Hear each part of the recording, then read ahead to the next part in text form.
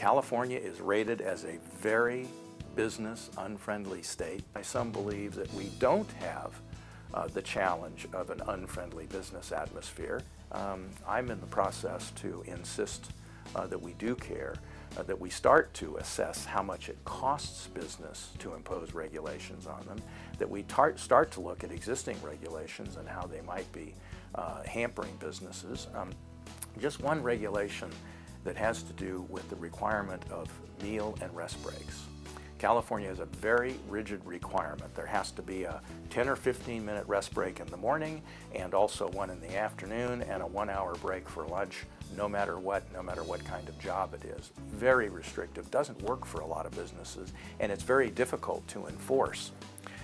It has become the single largest uh, reason for class action lawsuits against employers in the state of California today.